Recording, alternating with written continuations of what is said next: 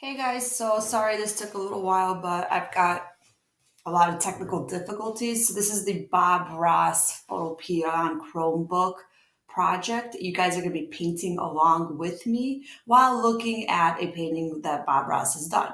But it starts in a few easy steps. I'm going to start my project. I'm going to name it Bob Ross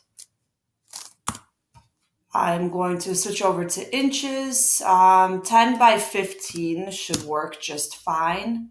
Uh, do 300 DPI. I'm going to stick at 72 just so I don't freeze up right now. But uh, 15 by 10 inches, 300 DPI, white background, and hit create. So you should have a white canvas like this. Go ahead and start a new layer. On this layer, we're going to name it sky. So one of the things that you can do for a quick blend is just take a big brush. Now you can turn the hardness all the way down and actually try to blend your colors, but you know, you could do this a lot faster. I make a nice big brush, go to your colors. If you don't see your color tab, find it in window and it will pop in here.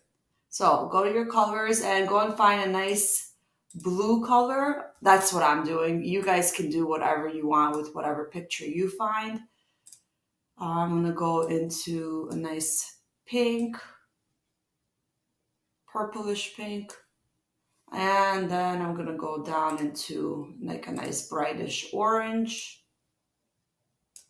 Maybe even going into some yellow it is up to you. If you want to do just big blue and pink and then make a merge, you can. Really up to you, however you want to make your top look. So right now, you guys see I have like three definitive, definitive lines. We're going to make them um, all blend together. Way to do that is to go up top to filter, find blur, and my favorite Gaussian blur. It just blurs everything. You're to have this little window pop up. I know it's been lagging for a lot of people right now it's behaving itself. So the more I turn it up, the more of a nice blend I get. Really nice. So you don't want to see the lines. So if you're still seeing the lines, that means you have not blended it enough. So really give it a nice blend. If you go too far, it just disappears because the pixels spread out too much. So I want it to be nice and light, nice light blend. There we go. I'm gonna press OK. So there's my sky. Looks like a nice little sunset. I'm going to create a new layer and I'm going to name that clouds. All right, for the clouds, I'm still in my brush, but this time I'm going to switch over to, let's do a number seven brush. And then I'm going to pick up the size. You guys see that it kind of has this little, little stamp effect. Let's see what the other one looks like. Oh, the other one is more twisted. So this is the other number seven that's right over here. This one's a little bit more twisted up. So yeah, I could use this. I'm gonna go ahead and drop my size like so. That looks pretty good. I'm gonna pick a nice light color and I'm going to turn my opacity down. Very important, turn your opacity down about halfway. That way it will look a little bit more natural. So now I'm gonna just start stamping my clouds. And I could keep stamping them over and over again on top of each other.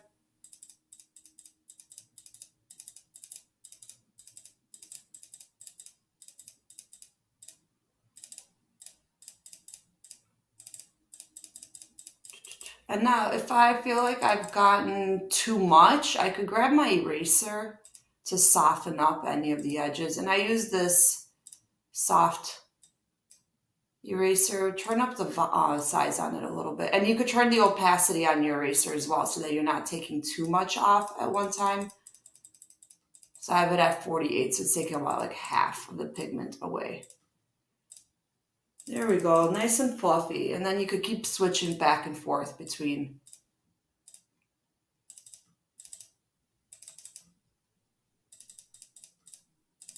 the brush and the eraser. That looks pretty nice. I like that. Now, I want to do it on the opposite side, but you guys see like when I do this um, brush, it has kind of like a weird pointed edge going in that direction, and I want to rotate my brush. So let's get rid of what I just made. Over here on the side, you have information, you have properties, brushes, character, paragraph. Go ahead and press on brush and notice the angle on it. You can rotate your brush. There we go. Also, you could turn on down the spacing. That'll make it a nice smooth line when you are painting. Press on brush again, and now have fun and create your clouds coming in from the other side. Clouds are kind of framing your picture. Once again, if they look way too perfect, go ahead and grab your eraser. Oh, we did this on sky, so we need to start doing it on our clouds layer. We made a mistake here. It's all right. That's why we can go back, or you could go back in history if you want to. Well, it doesn't go that far back, but that's okay. We're just going to go up to clouds and we're going to go ahead and hit brush and then put in our clouds in the brush, uh, in our clouds in the cloud layer. So be careful what layer you're putting them in. Okay, so I made my clouds here. So don't make my mistake and make sure you're always working in the right layer.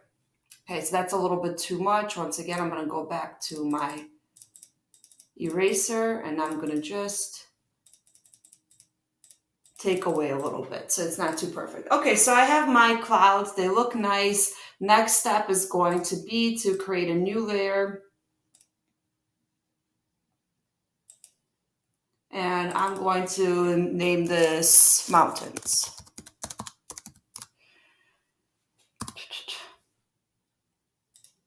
Sure you spell mountains right. All right, so the trick that I have with mountains is I use the 87 brush. It's like this flat up and down brush. Um, doesn't matter what size it is now, but in the beginning, I go to my nice blue color, but I go right in the center. I want like the center color. And now I'm going to draw in my clouds. Okay, first thing first, you guys see how it has like a little ticker effect and the opacity is low. Let's turn the opacity all the way up again. Go up to the brush right over here on the side and turn the spacing down to 1%. Now you're gonna get a different line. There we go, now it's all smooth. I'm going to slowly draw in my mountains. Now, if you're doing something like this, it's not going to look natural. You want to really spread them out a little bit. So start with nice wide peaks and then sometimes they get a little bit more narrow and sometimes they get a little bit higher up and wider. And then just keep moving your brush around but make sure it all stays nice and wide. That way it'll look more real. You could always go back and add a peak wherever you want. You can make another one a little bit higher if you wanted to. It's really up to you. Okay, so there I have my mountainscape.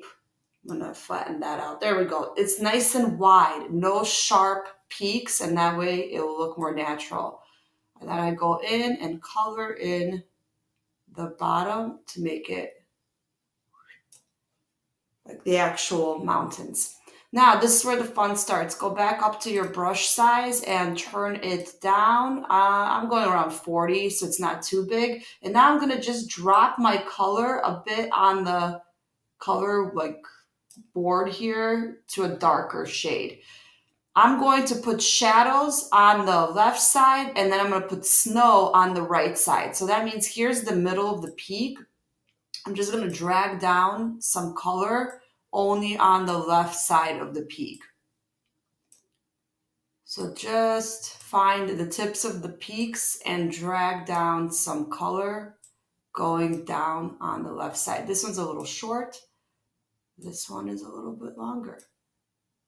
Depending on how you made your peaks. It's really up to you.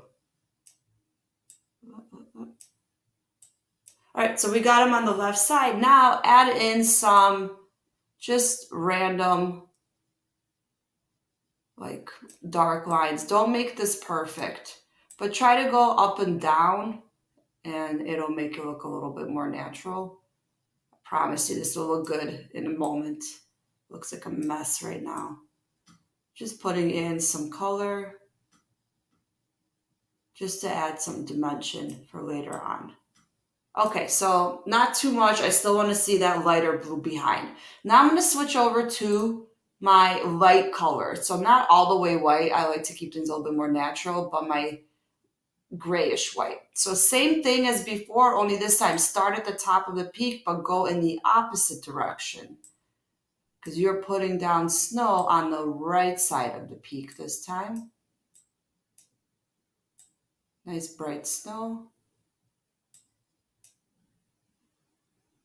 Keep the blue. You don't need to cover up all of the original blue on here. You want it to peek through. So there we go. It's all on the right side. And then this time, just go in and add some white snow. Imagine that the snow fell to the right side of the peak. It looks like a big old mess right now, but we will be fixing it. Do not cover up all of those details that you did down here, just a little bit as you are painting in some snow.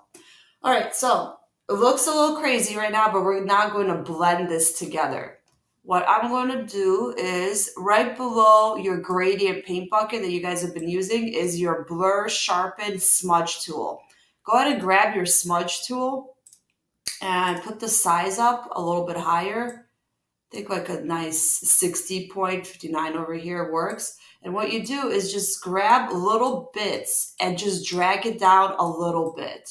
Don't drag it too much. It will not look as good. So just grab a little and drag, little and drag. And look at that, it's blending. You're getting some nice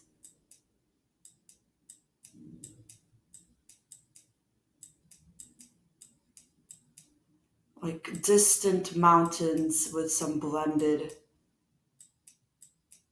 colors. I'm going down and slightly to the right. Notice how I'm not, I'm grabbing little bit by little bit. That way you could still keep this kind of like, you know, nice definition in your mountain. So it's not just all a big mess. It all makes sense is what I'm saying when you do it this way by blurring it together. All right, there we go. Now I have my mountain peaks done. So three uh, layers so far. Now I'm going to create another layer. And now your mountains might look different in the picture that you chose for your Bob Ross. It is really up to you. You guys decide what kind of painting you want to make. It does not have to be like mine. In fact, I would prefer it if you guys attempted something different than mine. Now I'm going to make this nice like lower horizon line. I'm going to go back to my brushes. I'm going to pick uh, the number seven brush was nice. We like that one. Turn it down a little bit. I'm going to pick a blue color in the center again. And I'm just going to stamp on some distant kind of looking lines.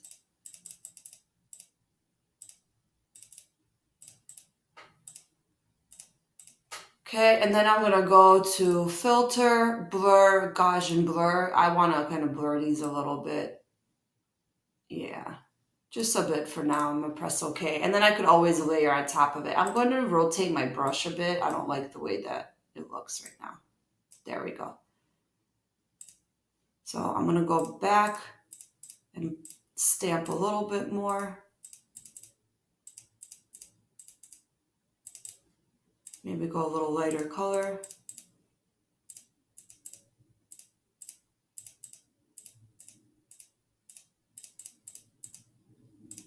All right, and then maybe I'll blur it.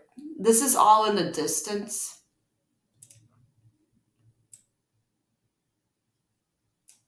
I'll press OK. That looks fine. So now I could even move this around. Maybe I want to bring this like mistiness up a little bit, bring it down lower.